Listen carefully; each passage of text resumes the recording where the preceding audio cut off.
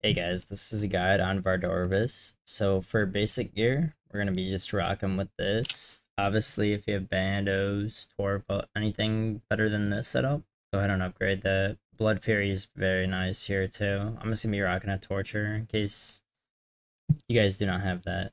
And for gear, I'm bringing the Chally for a special attack. Just because I know not everyone can get Claws or Voidwaker or any of the high damage spec weapons, but to get to the boss, we're going to be teleporting to Chambers of Xeric.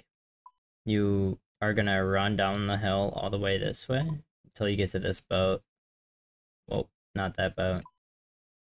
It's going to be a boat right here. I don't know why it's bringing me over there, but it's going to pretty much bring you right to this little bay here. And you're going to walk all the way through here to this tunnel, and you'll be right at the boss. Or if you guys are able to teleport, we're going to be going right to this one. And it'll pretty much just bring you right here. This is where the boat will be and you just walk right to that. These things will always attack you. Make sure you don't go AFK in this area.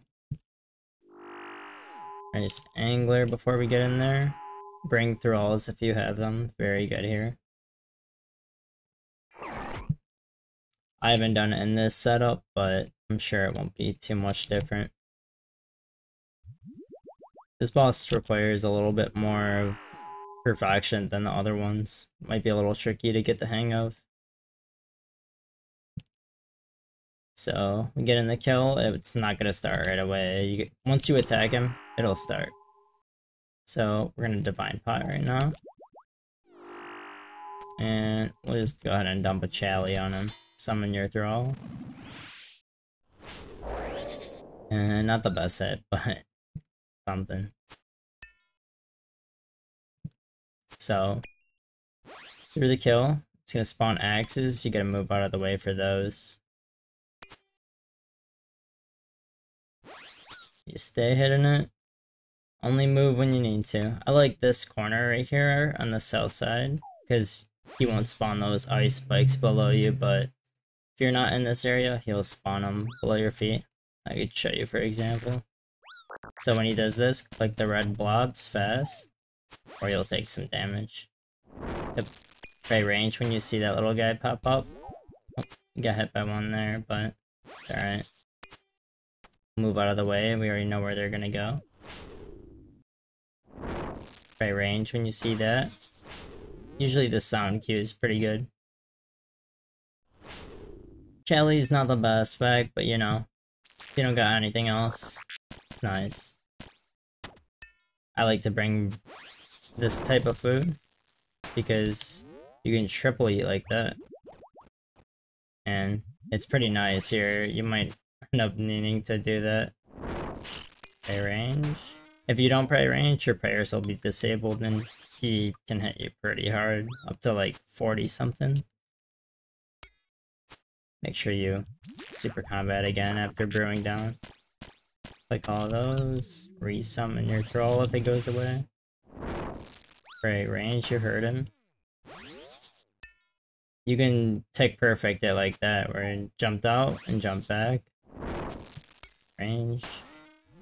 Sometimes you don't even need to see him, you could just hear the sound of him.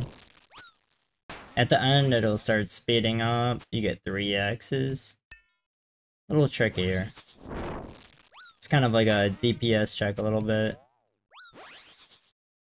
You'll die at the end of the kill more than the beginning, that's for sure. And just like that. It'll be a little tricky to learn, but we'll do one more kill for this guide, because this one seems a little more trickier, but... If you guys are enjoying these guys, just make sure you guys show it down below, and comment if you guys would like to see anything different. Alright, we'll do one more kill. Let's see how this goes. Well, I guess Fang Spec's pretty good too sometimes.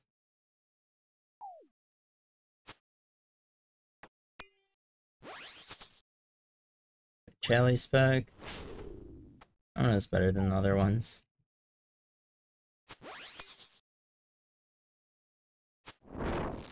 Right range on that. Just move out of the way. You see where the axes were going? New throw. There we go. Whoop. Range. Don't worry if you're missing hits. You don't have to be perfect with it. It's more just staying alive through the whole fight. There's a lot of stuff going on here. Right range. Melee again. Right when you see it hit you, you're good to switch back.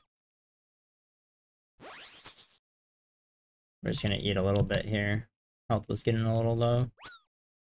Do one Chally spec. Oh, I missed it there. I'm just gonna eat real quick. If you miss it, just eat if you want to stay, or I may have to tell you out if you're low health. Dodge that one. If you guys would like to find out how to get the IDs of all this, I could make a guide on that too. And how to highlight them like that.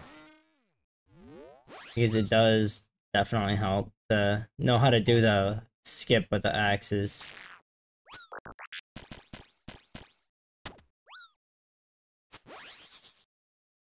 We're just gonna run. Oh, we're gonna get hit one time.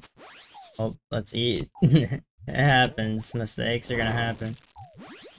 No matter how much you do this, it will get in a pinch sometimes. Alright, there you guys go. And from this gear setup, I think I said before, Torva, Bandos, Fang's the most affordable. I personally like the Saeldor. Fang's really nice, actually. Very consistent kills. You can, I see people using Scythe as well. I'm not sure what's exactly better. I have a guide comparing all three of them if you guys want to see that, but Fang is pretty nice. Probably the best bang for your buck for this boss, but yeah. Let me guys know what you guys think down below, and hope you guys all have a good day. Thank you guys.